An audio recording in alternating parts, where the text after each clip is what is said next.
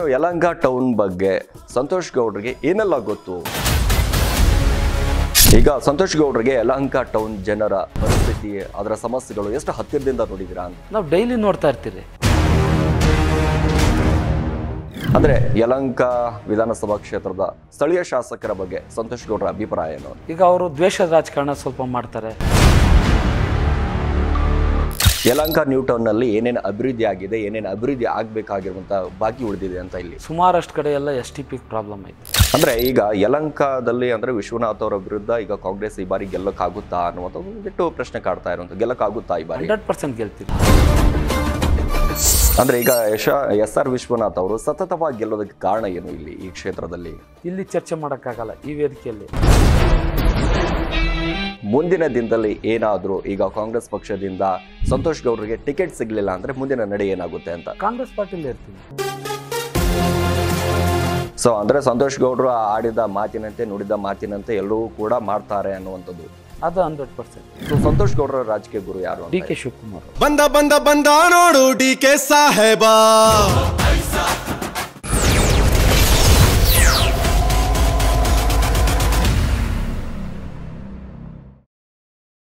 ನಾನು ಟಿಕೆಟ್ ಆಕಾಂಕ್ಷಿ. ವಿಶೇಷ ಕಾರ್ಯಕ್ರಮಕ್ಕೆ ಸ್ವಾಗತ. ನಾನು ಸಿರಾಜ್ ಪಾಲಿಕಾರ್.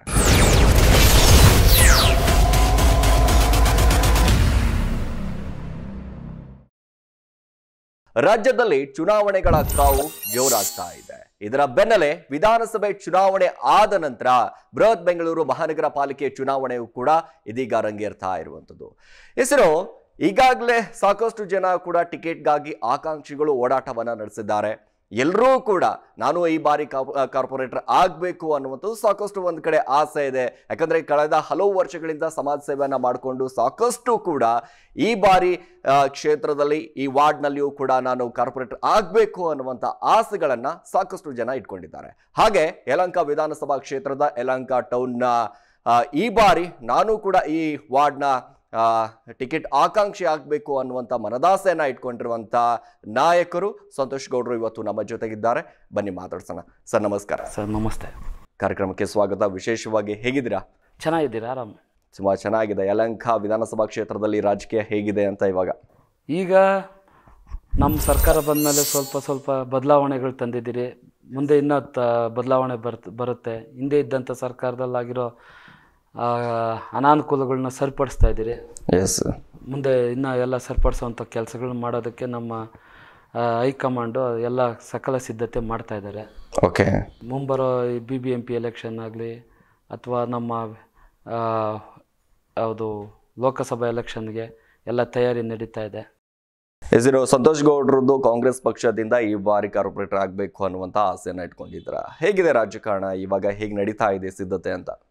ಸಿದ್ಧತೆ ಎಲ್ಲ ಕಡೆಯಿಂದ ನಡೀತಾ ಇದೆ, ಎಲ್ಲ ಪಾರ್ಟಿಗಳದ್ದು ಸಿದ್ಧತೆ ನಡೀತಾ ಇದೆ. ನಮಗೂ ಹೈಕಮಾಂಡು ಬೆ, ಎಲ್ಲ ಸಿದ್ಧರಾಗಿ ಅಂತ ಆದೇಶ ಹೊರಡಿಸಿದೆ ಸೂಚನೆ ಕೊಟ್ಟವರೇ ಆದೇಶ ಮಾಡಿದ್ದಾರೆ. ಅದ್ರ ತಕ್ಕನಂಗೆ ಎಲ್ಲ ಅವ್ರವ್ರ ತಕ್ಕನಂಗೆ ಅಲ್ಲೇ ನಮ್ಮ ವಾರ್ಡ್ ವೈಸು, ಬೂತ್ ವೈಸು ಎಲ್ಲ ಸಿದ್ಧತೆಗಳು ನಡೆಸ್ತಾ ಇದ್ದೀರಿ. ಈಗ ವೋಟ್ರಸ್ಸು ಎಲ್ಲ ಅಡಿಷನ್ನು, ಡಿಲಿಷನ್ನು ನಡೀತಾ ಇದೆ. ವೋಟ್ರ್ ವೆರಿಫಿಕೇಷನ್ನು ನಡೀತಾ ಇದೆ ಈಗ ಆಲ್ರೆಡಿ. ಕೋರ್ಟ್ ಆದೇಶ ಯಾವ ಥರ ಹೊರಬರುತ್ತೆ ನೋಡ್ಕೊಂಡು ಅದ್ರ ಪ್ರಕಾರವಾಗಿ ಎಲೆಕ್ಷನ್ ನಡೆಯುತ್ತೆ. ಬಹುಶಃ ಎಲೆಕ್ಷನ್ ನಡೆಯೋದು ಖಚಿತ ಅಂತ ಹೇಳಿದ್ದಾರೆ. ಎಸ್ ನೀವು ಯಲಂಗ ಟೌನ್ ಬಗ್ಗೆ ಸಂತೋಷ್ ಗೌಡ್ರಿಗೆ ಏನೆಲ್ಲ ಗೊತ್ತು ಅಂತ ಈ ವಾರ್ಡ್ ಬಗ್ಗೆ? ನಾವು ಹುಟ್ಟಿ ಬೆಳೆದಿರೋದೆಲ್ಲ ಇದೇ ವಾರ್ಡು. ಓಕೆ. ಹುಟ್ಟಿ ಬೆಳೆದಿರೋದು ನಾವು ನಮ್ಮ ತಾತವರಾಗಿರ್ಬೋದು ಎಲ್ಲರೂ ಇಲ್ಲೇ ಹುಟ್ಟಿ ಬೆಳೆದಿರೋದು.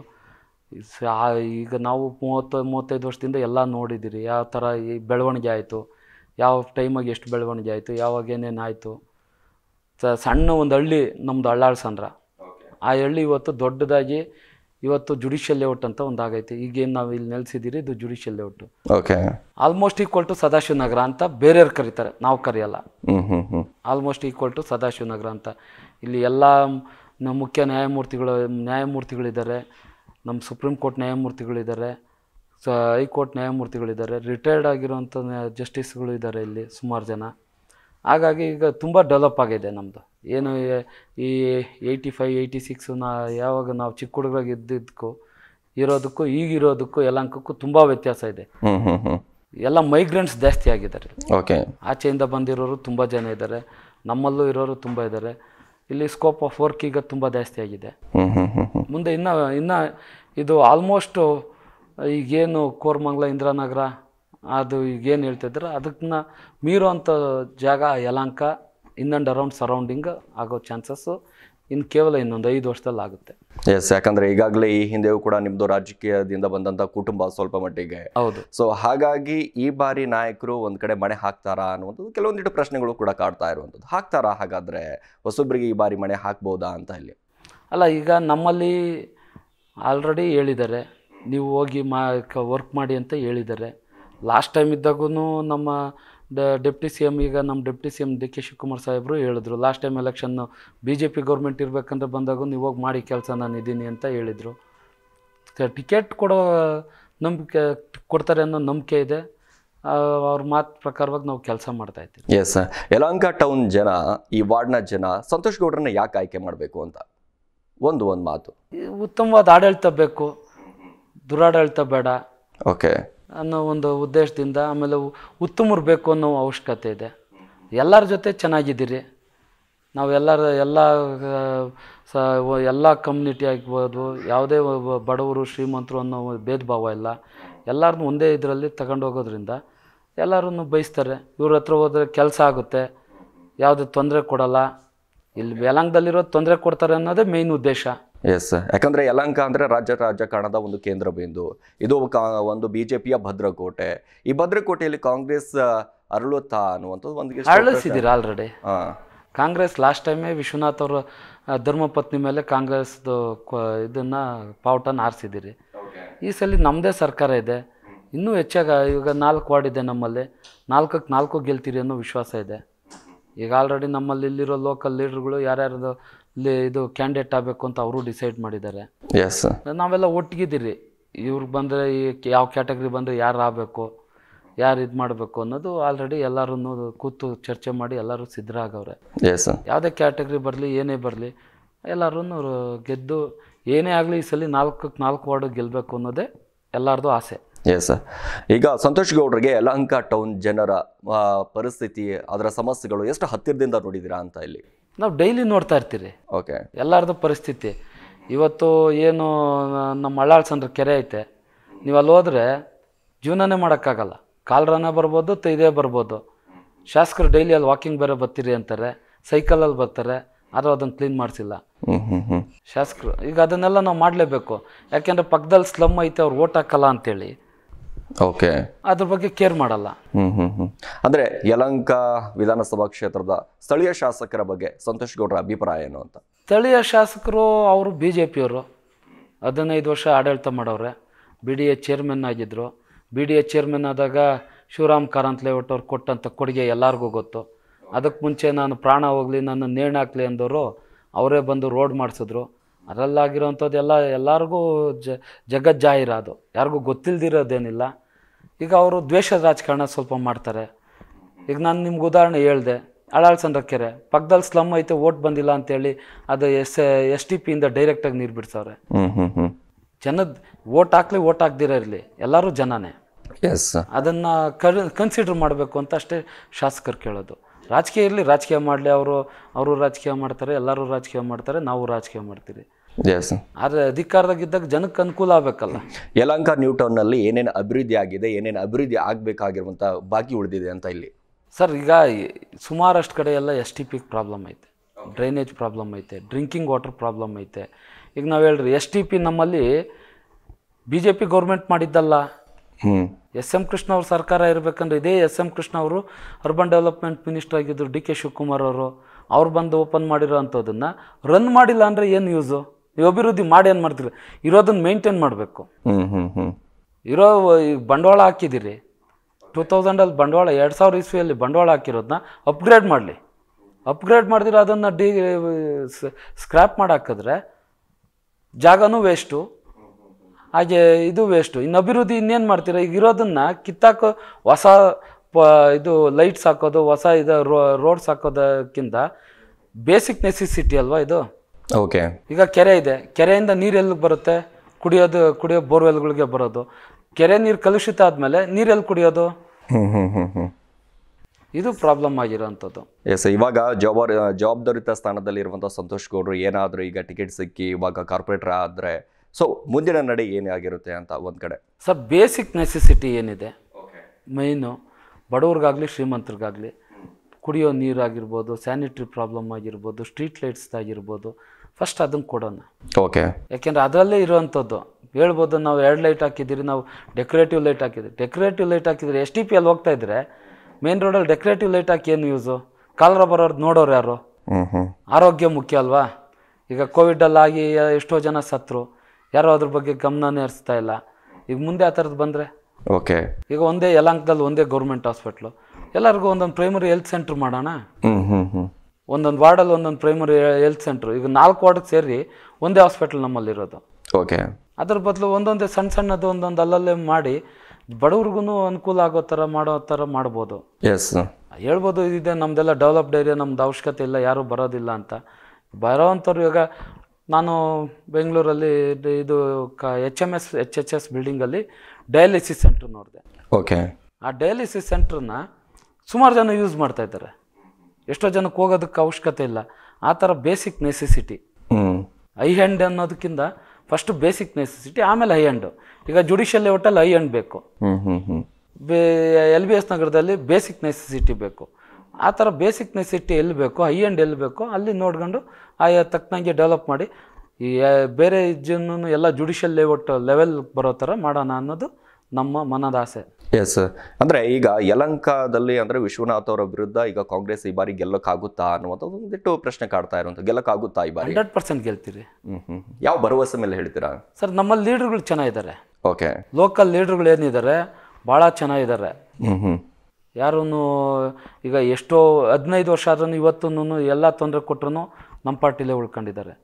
ಅವ್ರಿಗೆಲ್ಲ ಆ್ಯಡ್ಸ್ ಆಫ್ ಹೇಳಬೇಕಲ್ಲ? ಓಕೆ ಈಗ ತೊ ಸುಮಾರು ಜನ ಹೋದ್ರು ಬಂದರು ಹೋದ್ರು ಬಂದರು. ವೈಯಕ್ತಿಕವಾಗಿ ತೊಂದರೆ ಕೊಟ್ಟರು ಅಂತ ಹೋಗಿರೋರು ಇದ್ದಾರೆ ಆದರೆ ಇವತ್ತು ಅಲ್ಲಿ ಹೇಳಲ್ಲ.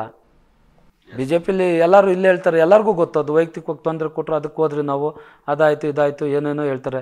ಅವತ್ತು ವೈಯಕ್ತಿಕ ಲಾಭ ಪಡ್ಕೊಳಕ್ಕೂ ಹೋಗಿರೋರು ಇದ್ದಾರೆ ತೊಂದರೆ ಕೊಟ್ಟರು ಅನ್ನೋದಕ್ಕಿಂತ ಲಾಭ ಪಡ್ಕೊಳಕ್ಕೆ ಹೋಗಿರೋರು ಇದ್ದಾರೆ ಎಸ್ ಅಂದರೆ ಕಾಂಗ್ರೆಸ್ ಪಕ್ಷದಲ್ಲಿ ಈಗ ಮೂಲ ವಲಸಿಗ ಮತ್ತು ವಲಸಿಗರು ಅನ್ನುವಂಥದ್ದು ಸಾಕಷ್ಟು ಒಂದು ನಡೀತಾ ಇದೆ. ನಮ್ಮಲ್ಲಿ ಯಾರ್ದು ಮೂಲ ಇದು ಯಾವುದೂ ಇಲ್ಲ. ವ- ನಮ್ಮಲ್ಲಿ ಏನೈತೆ ಅದೇ ಜನ ಹಂಗೆ ಇದ್ದಾರೆ ಈಗ ಇನ್ನೂ ಹೆಚ್ಚಾಗಿ ಜನ ಸೇರಬೇಕು ಅಂತ ಆಸೆಯಿಂದ ಬರ್ತಾವ್ರೆ ಅದನ್ನು ನಾವು ಸಂಘಟನೆ ಮಾಡೋ ಕಡೆ ನಾವು ಇದು ಮಾಡಬೇಕು. ಈಗ ಎಲ್ಲ ಕಡೆ ಈಗ ಎಸ್ ಟಿ ಸೋಮಶೇಖರ್ ಅವ್ರ ಕಾನ್ಸ್ಟಿಟ್ಯೂನ್ಸಿಲಿ ಯಶವಂತಪುರ ಕಾನ್ಸ್ಟಿಟ್ಯೂನ್ಸಿಲಿ ಬಂದರು. ಬೇರೆ ಬೇರೆ ಕಡೆಯಿಂದ ಎಲ್ಲ ಕಡೆಯಿಂದ ಬರೋ ಥರ ನಮ್ಮ ಯಲಾಂಗದಲ್ಲೂ ಕೇಳ್ತಾ ಇದ್ದಾರೆ ನಾವು ನಿಮ್ಮ ಪಾರ್ಟಿಗೆ ಸೇರ್ಕೊಂತೀರಿ ನಮ್ಮನ್ನು ಸೇರಿಸ್ಕೊಳ್ಳಿ ಅಂತ ಬಿ ಜೆ ಪಿಯಿಂದ ಬರೋಕ್ಕೆ ರೆಡಿ ಇದ್ದಾರೆ ಈಗ ಆಲ್ರೆಡಿ ಎಸ್ ಅಂದ್ರೆ ಇವಾಗ ನೀವು ಹೇಳ್ತೀರಾ ಲೋಕಲ್ ಲೀಡರ್ಗಳು ಬಹಳ ಸ್ಟ್ರಾಂಗ್ ಇದ್ದಾರೆ ಅಂತ ಅಂದ್ರೆ. ಅಂದ್ರೆ ಸತತವಾಗಿ ಎಸ್ ಆರ್ ವಿಶ್ವನಾಥ್ ಅವರು ಗೆದ್ಕೊಂಡು ಬರ್ತಾ ಇದ್ದಾರೆ. ಕಾಂಗ್ರೆಸ್ ಪಕ್ಷ ಯಾಕೆ ಗೆಲ್ಲಕ್ಕಾಗ್ತಾ ಇಲ್ಲ ಅಂತ ಇಲ್ಲಿ? ಅದು ಸ್ವಲ್ಪ ಆಂತರಿಕ ಗೊಂದಲದಿಂದ ಸೋ ಸೋತಿರೋದು ನಾವು. ಓಕೆ ನಾವು ಯಾವತ್ತೂ ವಿಶ್ವನಾಥ್ ಅವ್ರು ಮಾಡಿದಂಥ ಕ್ಯಾಂಪೇನ್ ಮಾಡಿಲ್ಲ. ಅವ್ರು ಖರ್ಚು ಮಾಡ್ದಂಗೆ ಖರ್ಚು ಮಾಡಿಲ್ಲ ನಾವೆಲ್ಲೂ ಅವ್ರು ಇಪ್ಪತ್ನಾಲ್ಕು ಗಂಟೆ ರಾಜಕೀಯ ಮಾಡಿ ಆ ಥರ ಬ ಮಾಡ್ತಾರೆ. ನಮ್ಮಲ್ಲಿ ಬರೀ ರಾಜಕೀಯದ ಟೈಮಲ್ಲಿ ಹೋದ್ರೆ ನಾವು ಇವತ್ತು ನಾವು ಎಪ್ಪತ್ತೇಳು ಸಾವಿರ ಓಟ್ ತಗೊಂಡಿದ್ದೀರಿ. ನಮ್ಮಲ್ಲಿ ಅಭ್ಯರ್ಥಿ ಗೊಂದಲ ಇದ್ದು ಎಪ್ಪತ್ತೇಳು ಸಾವಿರ ಓಟ್ ತಗೊಂಡಿದ್ದೀರಿ. ಎಸ್ ಹಿಂದೆನೂ ನಾವು ಓಟ್ ತಗೊಂಡಿದ್ರಿ ಅಂದ್ರೆ ಈಗ ಯಶ ಎಸ್ ಆರ್ ವಿಶ್ವನಾಥ್ ಅವರು ಸತತವಾಗಿ ಗೆಲ್ಲೋದಕ್ಕೆ ಕಾರಣ ಏನು ಇಲ್ಲಿ ಈ ಕ್ಷೇತ್ರದಲ್ಲಿ? ಅದು ಇಲ್ಲಿ ಚರ್ಚೆ ಮಾಡೋಕ್ಕಾಗಲ್ಲ ಈ ವೇದಿಕೆಯಲ್ಲಿ. ಓಕೆ ಅದನ್ನು ನಾವು ಬೇರೆ ನಾವು ನಮ್ಮ ಪಾರ್ಟಿಯಲ್ಲಿ ಚರ್ಚೆ ಮಾಡಬೇಕೆ ಹೊರತು ಇಲ್ಲಿ ಚರ್ಚೆ ಮಾಡೋಕ್ಕಾಗಲ್ಲ. ಓಕೆ ಅದು ಇಲ್ಲಿ ಸೂಕ್ತನೂ ಅಲ್ಲ. ಹೌದು. ಸಮಯ ಸಂದರ್ಭವೂ ಕೂಡ. ಅದು ಅಲ್ಲಿ ಚರ್ಚೆ ಮಾಡಿದ್ರೆ ಸೂಕ್ತ. ಯಾಕೆಂದ್ರೆ ಸೋತಿರೋರು ನಾವು. ಓಕೆ. ಇಸ್ತೇನು ಮುಂದಿನ ದಿನದಲ್ಲಿ ಏನಾದರೂ ಈಗ ಕಾಂಗ್ರೆಸ್ ಪಕ್ಷದಿಂದ ಸಂತೋಷ್ ಗೌಡರಿಗೆ ಟಿಕೆಟ್ ಸಿಗಲಿಲ್ಲ ಅಂದ್ರೆ ಮುಂದಿನ ನಡೆ ಏನಾಗುತ್ತೆ ಅಂತ? ಕಾಂಗ್ರೆಸ್ ಪಾರ್ಟಿಲಿ ಇರ್ತೀನಿ. ಓಕೆ. ಯಾವುದೇ ಕಾರಣಕ್ಕೂ ಕಾಂಗ್ರೆಸ್ ಪಾರ್ಟಿಯನ್ನು ಬಿಡೋದಿಲ್ಲ. ಯಾವುದೂ ಬಿಡೋದಿಲ್ಲ. ಸೊ ಎಲ್ಲವೂ ಕೂಡ ಅಂದ್ರೆ ಇಡೀ ಕುಟುಂಬನೇ ಸಂಪೂರ್ಣವಾಗಿ ಕಾಂಗ್ರೆಸ್ ಪಕ್ಷ ಈಗ ನನ್ನ ಪಾರ್ಟಿಯಿಂದ ಇದು ಮಾಡಬೇಕು ಪಾರ್ಟಿಗೆ ನನಗೂ ತೊಂದರೆ ಕೊಟ್ಟಿದ್ದಾರೆ ಕೊಟ್ಟಿಲ್ಲ ಅಂತೇನಿಲ್ಲ. ಓಕೆ ಎಲ್ಲರಿಗೂ ಇದ್ದೇ ಇರ್ತೈತೆ. ಪಾರ್ಟಿಗೆ ಬರಬೇಕು ಅಂತ ಕರೆದಿರೋರು ಇದ್ದಾರೆ ನಾವು ಅದು ಅವ್ರ ಪಾರ್ಟಿ. ಓಕೆ ವಿಶ್ವನಾಥ್ ಅವರು ಬಿ ಜೆ ಪಿಯಲ್ಲಿದ್ದಾರೆ ಸಂತೋಷ ಅವರು ಸ್ನೇಹಿತರೆ ಸ್ನೇಹಿತರಲ್ಲ ಅಂತೇನಿಲ್ಲ. ಅವ್ರು ಅವ್ರ ಪಾರ್ಟಿಲಿ ನಾವು ನಮ್ಮ ಪಾರ್ಟಿಲಿ. ಎಲೆಕ್ಷನ್ನಲ್ಲಿ ವಿರೋಧಿಗಳೇ. ಎಸ್ ಅವರು ವಿರೋಧ ಮಾಡ್ತಾರೆ ನಾವು ವಿರೋಧ ಮಾಡ್ತೀವಿ. ಈಗ ನಾವು ಎಲೆಕ್ಷನ್ ನಿಂತರೆ ಅವರು ಬಂದು ನಮ್ಮ ಅಗೇನ್ಸ್ಟಾಗಿ ಕ್ಯಾನ್ವಾಸ್ ಮಾಡ್ತಾರೆ. ಹ್ಮ್ ಹ್ಮ್ ಹ್ಮ್. ಈಗ ಸಂತೋಷ್ ಗೌಡರಿಗೆ ನಾನು ಕಾರ್ಪೊರೇಟರ್ ಆಗಬೇಕು ಅಂತ ಆಸೆ ಬಂದಿದ್ದೆ ಯಾಕೆ ಅಂತ ಇಲ್ಲಿ? ಸರ್ ನಾನು ಕಾರ್ಪೊರೇಟರ್ ಆಗಬೇಕು ಅಂತ ನನ್ನದೇನು ಆಸೆ ಇರಲಿಲ್ಲ. ನನ್ನ ಹಿಂದೆ ಮುಂದೆ ಇರೋರು ಆಗಬೇಕು ನೀವು. ನೀವಾದ್ರೆ ಜನಕ್ಕೆ ಸಹಾಯ ಆಗುತ್ತೆ ಒಳ್ಳೇದಾಗುತ್ತೆ ಅನ್ನೋದ್ರಿಂದ ಮುಂದೆ ಬಂದಿದ್ದೀರಿ. ಹ್ಮ್ ಹ್ಮ್ ಹ್ಮ್. ಈ ಬಾರಿ ಜನಸೇವೆ ಮಾಡಬೇಕು. ಅಲ್ಲ ನಾವು ಜನಸೇವೆ ಮುಂಚೆಯಿಂದ ಮಾಡ್ಕೊಂಬಂದಿದ್ದೀರಿ ಈ ಅಧಿಕಾರ ಇದ್ದು ಇನ್ನು ಹೆಚ್ಚಾಗಿ ಮಾಡ್ಬೋದು ಅಂತ ಅಷ್ಟೇ. ಹ್ಮ್ ಅಂದ್ರೆ ಇಷ್ಟು ದಿನಗಳ ಕಾಲ ಜನಸೇವೆಯನ್ನ ಹಿಂದೆ ನಿಂತ್ಕೊಂಡು ಮಾಡ್ತಾ ಇದ್ರೆ. ಇದ್ರಿ ಈಗ ಫ್ರಂಟ್ ಲೈನ್ ಅಲ್ಲಿ ಬಂದ್ರೆ ಒಂದಿಟ್ಟು ಗುರುಸ್ತಾ ಗುರ್- ಗುರುತಿಸ್ತಾರೆ ಅನ್ನುವಂಥದ್ದು ಗುರುತಿಸ್ತಾರೆ ಅನ್ನೋದಕ್ಕಿಂತ ಹೆಚ್ಚು ಜನಕ್ಕೆ ಇದ್ ಮಾಡ್ಬೋದು ಅಷ್ಟೇ ಹೊರತು ಗುರುತಿಸ್ಕೊಳೋ ಅವಶ್ಯಕತೆ ಬರೋದಿಲ್ಲ. ಓಕೆ ಗುರುತಿಸ್ಕೊಬೇಕು ಅಂದ್ರೆ ಬೇಜ ಬೇರೆ ಬೇರೆ ಕೆಲಸಗಳಿದ್ದಾವೆ ಮಾಡ್ಬೋದು. ಎಸ್ ಅಂದ್ರೆ ಸಂತೋಷ್ ಗೌಡ್ರಿಗೆ ಗುರುತಿಸ್ಕೊಂಡು ರಾಜಕಾರಣ ಮಾಡುವ ಅವಶ್ಯಕತೆ ಅವಶ್ಯಕತೆ ಇಲ್ಲ. ಓಕೆ ಗುರ್ತಿಸ್ಕೊಳ್ಬೇಕು ಗುರ್ತಿಸ್ಕೊಳಕ್ಕೋಸ್ಕರ ರಾಜಕೀಯಕ್ಕೆ ಬರಬೇಕು ಅಂತ. ಗುರ್ತಿಸ್ಕೊಳಕ್ಕೆ ಬೇ ಬೇ ಹಲವಾರು ರಂಗಗಳಿದಾವೆ. ಓಕೆ. ಅದರಲ್ಲೆಲ್ಲ ಗುರ್ತಿಸ್ಕೊಬೋದು. ಇದಕ್ಕಿಂತ ಹೆಚ್ಚಾಗಿ ಗುರ್ತಿಸ್ಕೊಬೋದು ಅಲ್ಲಿ ಕೆಟ್ಟ ಹೆಸರು ತಗೋಣ ಅವಶ್ಯಕತೆ ಬರಲ್ಲ. ಯಾರನ್ನೂ ಈಗ ಒಂದು ಪಾ ಈಗ ನಾನು ಕಾಂಗ್ರೆಸ್ಸಿಂದ ನಿಂತಾಗ ದಳ ಅಥವಾ ಬಿ ಜೆ ಪಿಯನ್ನು ವಿರೋಧ ಮಾಡ್ಕೊಬೇಕು. ಅಲ್ಲಿರುವಂಥ ನಮ್ಮ ಸ್ನೇಹಿತರುಗಳು ನಮ್ಮ ಬಗ್ಗೆ ಮಾತಾಡ್ತಾರೆ ಅದನ್ನು ನಾವು ಕೇಳಬೇಕು. ನಾನು ಗುರ್ತಿಸ್ಕೊಬೇಕು ಅಂತ ಬೇರೆ ರಂಗದಲ್ಲಿ ಗುರ್ತಿಸ್ಕೊಂಡ್ರೆ ಯಾರೂ ಮಾತಾಡಲ್ಲ ಎಲ್ಲರೂ ಸಹ ಸ್ನೇಹಿತರಾಗಿರ್ಬೋದು. ಹ್ಮ್ ಹ್ಮ್ ಹ್ಮ್. ಸೊ ಅಂದ್ರೆ ಸಂತೋಷ್ ಗೌಡ್ರು ಆಡಿದ ಮಾತಿನಂತೆ ನುಡಿದ ಮಾತಿನಂತೆ ಎಲ್ಲರೂ ಕೂಡ ಮಾಡ್ತಾರೆ ಅನ್ನುವಂಥದ್ದು.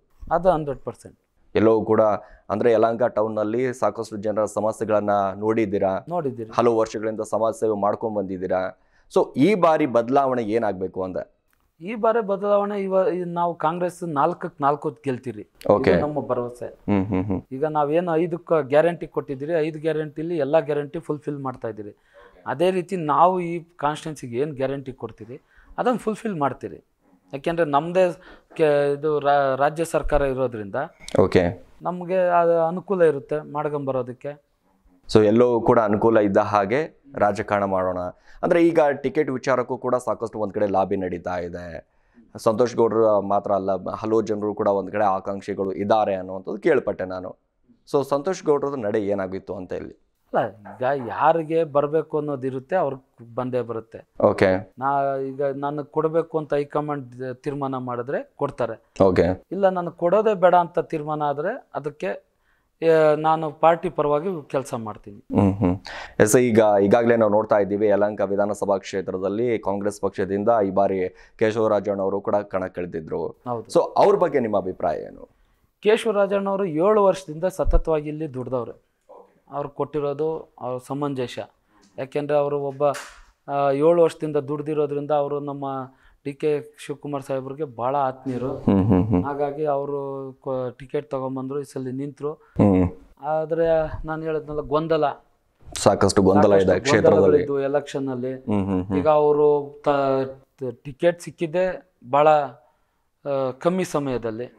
ಆ ಕಮ್ಮಿ ಸಮಯದಲ್ಲಿ ಅವರು ಬ ಕ್ಯಾನ್ವಾಸ್ ಮಾಡೋದು ಎಲ್ಲ ಮಾಡಿ ಆ ಕೋಪ್ ಅಪ್ ಮಾಡ್ಕೊಂಡು ಲೀಡರ್ಗಳ ಜೊತೆ ಮಾಡೋದಕ್ಕೆ ಸಮಯ ಸಾಲಿಲ್ಲ. ಇನ್ನು ಮುಂದಕ್ಕೆ ಎಲ್ಲರ ಲೀಡರ್ಗಳ್ನು ಕೋಪ್ ಅಪ್ ಮಾಡ್ಕೊಂಡು ಎಲ್ಲರನ್ನೂ ಜೊತೆಗೆ ತಗೊಂಡು ಹೋಗ್ತಾರೆ ಅಂತ ಅಂದ್ಕೊಂಡಿದ್ದೀನಿ ಸೊ ಈ ಬಾರಿ ಕಾರ್ಪೊರೇಟರ್ ಎಲೆಕ್ಷನ್ ಅಲ್ಲಿ ಅವ್ರ ಮನೆಯವರು ನಿಲ್ಕೋತಾರೆ ಅನ್ನುವಂಥದ್ದು ಒಂದಿಟ್ಟು ಕೆಲವು ಊಹಾಪೋಹಗಳು ನಾವು ಎಲ್ಲರೂ ಹೇಳಿದಿರಿ ಓಕೆ ಜನರಲ್ ಲೇಡಿ ಬಂದ್ರೆ ನೀವು ನಿಲ್ಸಿ. ನಿಲ್ಲಿಸಿ ಫೈಟ್ ಮಾಡಿ. ಜನ್ ಜನ ಜನಕ್ಕೊಂದು ಸಂದೇಶ ಕೊಡೋಣ ಅಂತ ಹೇಳಿದಿರಿ ಮತ್ತೆ ಕಾಂಗ್ರೆಸ್ ಪಾರ್ಟಿನ ಅರಳಿಸ್ಬೇಕು ಅನ್ನೋ ಒಂದು ಇದರಲ್ಲಿ ಓಕೆ ಅವ್ರಿಗೂ ಹೇಳಿದಿರ ಅವರು ಇನ್ನ ನೋಡೋಣ ಅಂತ ಹೇಳಿದ್ದಾರೆ ಹೊರತು ಯಾವುದು ಅವರು. ಮಾಡೇ ಮಾಡ್ತೀರಿ ಅಂತ ಹೇಳಲಿಲ್ಲ. ಎಸ್ ಅಂದರೆ ಈಗ ಸಂತೋಷ್ ಗೌಡ್ರಿಗೆ ಯಾಕಂದರೆ ಪ್ರತಿಯೊಬ್ಬರಿಗೂ ಕೂಡ ಒಬ್ಬರ ರಾಜಕೀಯಕ್ಕೆ ಬರಬೇಕಂದ್ರೆ ಒಬ್ಬರು ಗುರುಗಳು ಅಂತ ಇರ್ತಾರೆ. ಸೊ ಸಂತೋಷ್ ಗೌಡ್ರ ರಾಜಕೀಯ ಗುರು ಯಾರು D K Shivakumar D K Shivakumar ಅವರು. ಸೊ ಆ ಡಿ ಕೆ ಶಿವಕುಮಾರ್ ಅವ್ರನ್ನ ಇಟ್ಕೊಂಡೆ ಇವರು ನನ್ನ ಯುವತಾಯ್ ಖಾನು ನಾನು ಇವ್ರು ನೋಡಿಕೊಂಡೆ ರಾಜಕಾರಣ ಮಾಡಬೇಕು. ಸೊ ಡಿ ಕೆ ಶಿವಕುಮಾರ್ ಅವ್ರ ಹತ್ರ ಏನು ಅನಿಸ್ತು ನಿಮಗೆ? ಅವ್ರ ಬಗ್ಗೆ ಏನು ಅನಿಸುತ್ತೆ ಅಂತ? ಅಲ್ಲ ಅವರ ರಾಜಕೀಯ ತಂತ್ರಗಾರಿಕೆ ಅವ್ರ ರಾಜಕೀಯ ಮಾಡೋ ಸ್ಟೈಲು ಅದು ತುಂಬ ಇಷ್ಟ ಆಗುತ್ತೆ. ತುಂಬ. ಯಾಕೆಂದ್ರೆ ಡೇರಿಂಗ್ ಆಗಿ ರಾಜಕೀಯ ಮಾಡ್ತಾರೆ. ಓಕೆ. ಡೈರೆಕ್ಟ್ ಹಿಟ್ ಅಂದಂಗೆ ಹೌದು. ಹ್ಮ್ ಹ್ಮ್ ಹ್ಮ್. ಯಾರ ಹತ್ರ ಕೂಡ ಆ ಕಡೆ ಈ ಕಡೆ ಮಾತಾಡೋದಿಲ್ಲ ನೇರವಾಗಿ ಪಾರ್ಟಿಗೆ- ಸ್ಟಿಕ್ ಆನ್ ಆಗ್ತಾರೆ. ಪಾರ್ಟಿ ಹೈಕಮಾಂಡ್ ಏನು ಹೇಳ್ತಾರೆ ಅದಕ್ಕೆ ಸ್ಟಿಕ್ ಆನ್ ಆಗ್ತಾರೆ. ಅದು ಏನೇ ಆಗಿರ್ಬೋದು ಅದು ಯಾವುದೇ ಇದಾದನು ಅವರು ಪಾರ್ಟಿಗೆ ಸ್ಟಿಕ್ ಆನ್ ಆಗ್ತಾರೆ. ಅವ್ರಿಗೆ ನಿಮಗೆ ಉದಾಹರಣೆಗೆ ಅವರು ಲಾಸ್ಟ್ ಟೈಮು ಸಿದ್ದರಾಮಯ್ಯ ಸರ್ಕಾರ ಇರ್ಬೇಕಂದ್ರೆ ನಾನು ಖುದ್ದಾಗಿ ಕೇಳಿದೆ ಅವ್ರಿಗೆ. ಸರ್ ನೀವು ಈ ಸಲ ಸಿ ಎಂ ಆಗಬೇಕು ಅಂತ. ನೋಡೋಣ ಇರು ಅಂದರು. ಓಕೆ. ಗೆದ್ದ ತಕ್ಷಣ. ಅನ್ಫಾರ್ಚುನೇಟ್ ಅವ್ರಿಗೆ ಸುಮಾರು ತಿಂಗಳ ಅನ್ಗಟ್ಲೆ ಮಿನಿಸ್ಟ್ರ್ ಪೋರ್ಟ್ಫೋಲಿಯೋನೇ ಕೊಡಲಿಲ್ಲ. ಓಕೆ. ಅವ ಆಮೇಲೆ ಅವ್ರಿಗೆ ಮಿನಿಸ್ಟ್ರ್ ಪೋರ್ಟ್ಫೋಲಿಯೋ ಸಿಕ್ಕಿತ್ತು. ಹಾಗಾಗಿ ಅಷ್ಟೆಲ್ಲ ತೊಂದರೆ ಇದ್ರೂ ಅವರು ಅದೇ ಪಾರ್ಟಿಲಿ ಪಾರ್ಟಿಗೋಸ್ಕರ ಏನು ಹಾಮ್ ಡ್ಯಾಮೇಜ್ ಮಾಡಿದಿರ? ಪಾರ್ಟಿಗೋಸ್ಕರನೇ ಅಲ್ಲೇ ಉಳ್ಕೊಂಡ್ರು. ಅದಕ್ಕೆ ಇವತ್ತು ಹೈಕಮಾಂಡ್ ಅವರು ಅವ್ರನ್ನ ಕರೆದು ಗುರುತಿಸಿ ಅವ್ರಿಗೆ ಅಧ್ಯಕ್ಷ ಸ್ಥಾನ ಕೊಟ್ಟರು ಅಧ್ಯಕ್ಷ ಸ್ಥಾನ ಕೊಟ್ಟ ಮೇಲೆ ಫಿನಿಕ್ಸ್ ಥರ ನಮ್ಮ ಕಾಂಗ್ರೆಸ್ಸು ಈ ಕರ್ನಾಟಕದಲ್ಲಿ ಬಂದು ನೂರ ಮೂವತ್ತೈದು ಸ್ಥಾನ ಗೆದ್ದಿದ್ದೀರಿ ಈಗ. ಗೆದ್ದು ಆಡಳಿತ ಹಿಡಿದಿದ್ದೀರಿ. ಅದಕ್ಕೆ ಡಿ ಸಿ ಎಂ ಕೊಟ್ಟವ್ರೆ. ಆಗ ನಾವು ನಾವು ಕಾ ಒಂದು ಪಾರ್ಟಿಲಿ ಆ ಪರವಾಗಿ ನಿಂತಿದ್ರೆ ಅದು ಇವತ್ತಲ್ಲ, ನಾಳೆ ನಮಗೆ ಕೈ ಹಿಡಿತೈತೆ ಪಾರ್ಟಿ ಅನ್ನೋದು ನಮ್ಮ ಅಭಿಪ್ರಾಯ. ಎಸ್ ಯಾಕಂದ್ರೆ ಈಗ ಒಂದು ಕಡೆ ಸಾಕಷ್ಟು, ಅಂದ್ರೆ ಕಾಂಗ್ರೆಸ್ ಪಕ್ಷಕ್ಕಾಗಿ ದುಡ್ಕೊಂಡ್ ಬಂದಿದ್ದೀರಾ? ಈ ಬಾರಿ ಕಾರ್ಪೊರೇಟ್ ಟಿಕೆಟ್ ಆಕಾಂಕ್ಷಿ ಕೂಡ ಆಗಿದ್ದೀರಾ? ಯಲಹಂಕ ನ್ಯೂ ಟೌನ್ನ ಸಾಕಷ್ಟು ಸಮಸ್ಯೆಗಳನ್ನ ಅರ್ತಿದ್ದೀರಾ? ಸೊ ಮುಂದೆ ಬದಲಾವಣೆ ಅಂತ ವಿಚಾರ ಬಂದಾಗ ಅದ್ರ ಜೊತೆಗೆ ಇಲ್ಲಿ ಏನಾದರೂ ಬದಲಾವಣೆ ಮಾಡಬೇಕು ಅದ್ರ ಜೊತೆಗೆ ಏನಾದರೂ ಟಿಕೆಟ್ ಒಂದ್ಸರಿ ಸಿಕ್ಕಿದ ಸಂದರ್ಭದಲ್ಲಿ ಏನೆಲ್ಲ ಪ್ರಯತ್ನಗಳು ಆಗುತ್ತೆ ಅದ್ರ ಜೊತೆಗೆ ಜನರನ್ನ ಯಾವ ರೀತಿ ವಿಶ್ವಾಸಕ್ಕೆ ತಗೋತೀರಿ ಅಂತ ಇಲ್ಲಿ? ಅಲ್ಲ ಜನಗಳನ್ನ ವಿಶ್ವಾಸಕ್ಕೆ ಮುಂಚೆಯಿಂದನೂ ಇಟ್ಕೊಂಡಿದ್ದೀರಿ. ಓಕೆ ನಮ್ಮದೇ ಆದ ಒಂದು ಸ್ಟ್ರಾಟಜಿ ಇದೆ. ನಾವು ಅಧಿಕಾರಕ್ಕೆ ಬಂದ್ರೆ ಒಂದು ಆಡಳಿತ ಹೆಂಗ್ ಕೊಡಬೇಕು ಅನ್ನೋದನ್ನ ಒಂದು ಇಟ್ಕೊಂಡಿದ್ದೀರಿ. ಅದನ್ನ ಅಧಿಕಾರಕ್ಕೆ ಬಂದಾಗ ಹೇಳೋಣ. ಯಾವ ಥರ ಮಾಡ್ತೀರಿ ಏನು ಅಂತ. ಜನಗಳೇ ಹೇಳ್ಬೇಕು. ಓ ಈ ಥರನೂ ಅಧಿಕಾರ ಮಾಡ್ಬೋದಾ? ಜನಗಳೇ ಪ್ರಭುಗಳು ಅಂತ ಹೇಳ್ತಾರಲ್ಲ ಅದನ್ನ ನಾವು ಮಾಡಿ ತೋರ್ಸೋಣ. ಪ್ರಭುಗಳು ಅಂತ ಕರಿತೀವಿ. ಅಂತ ಹೇಳ್ತಾರಲ್ಲ ಅದನ್ನ ಅವ್ರಿಗೆ ಪ್ರಭುಗಳಿಗೆ ಅದು ಆಡಳಿತ ಅವ್ರ ಕೈಗೆ ಕೊಡೋದು. ಓಕೆ.